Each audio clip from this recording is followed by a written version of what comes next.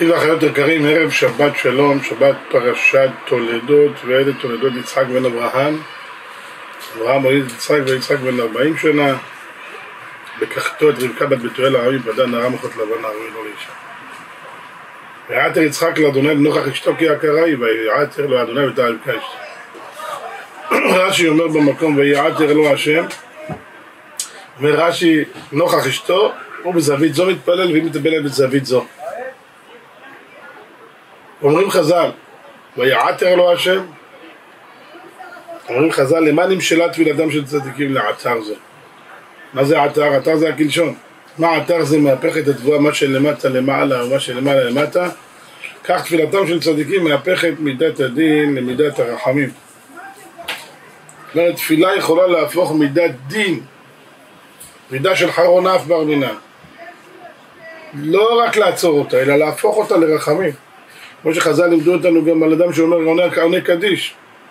עונה כל העונה המנש מרבה בכל כוחו, מחלוקת רש"י ותוספות מה זה כוחו, כוח כוונתו, כוחו ממש, לא יצרוח, אבל להגיד את זה בקול רם.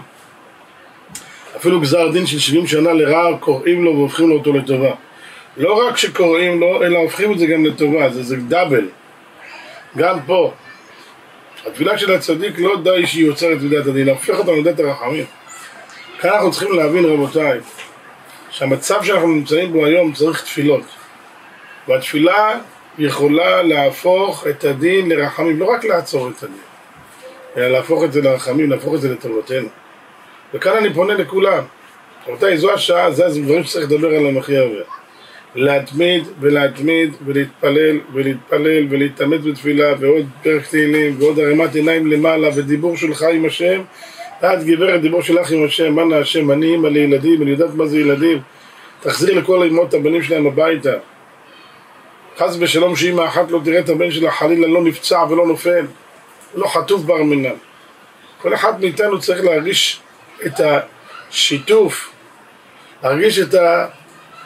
את האחריות, את החיבור, להרגיש, אנחנו, הם לא לבד, זה הילדים שלנו, זה אחים שלנו. ולכן כל תפילה כזאת היא עושה, היא עושה עבודה, תדעו לכם, כל הזמן הקצינים בצבא צועקים, תמשיכו להתפרח, רואים פה ניסים, אבל תתפללו עוד, תתפללו עוד, אנחנו צריכים הרבה ניסים. בעזרת השם יתברך ודאי, שעל ידי התפילות, אישה מדליקה נרות שבת, שעת רצון גדולה, תתפלל, מה לאט ומהר, פלל כמה שתרחיב, ישתבח שמות אחרי פיך בעמלהו. כל אמא ואמא. תרגיש כאילו הבן שלך, הבן שלו בצבא, תרגישו כאילו הבן שלך בצבא. כאילו הבן של אח שלך בצבא, כאילו אח שלך בצבא, אבא שלך בצבא. תרגיש את זה, ואז ודאי וודאי שבעזרת השם יתברך, ברור עולם, יפנה לתפילות שלנו, ויאמר די לצרותינו, שלח לנו משיח צדקנו, ידבר עמים תחתנו, תחת רגלינו, אמן ואמן, שבת, שלום ומבורך.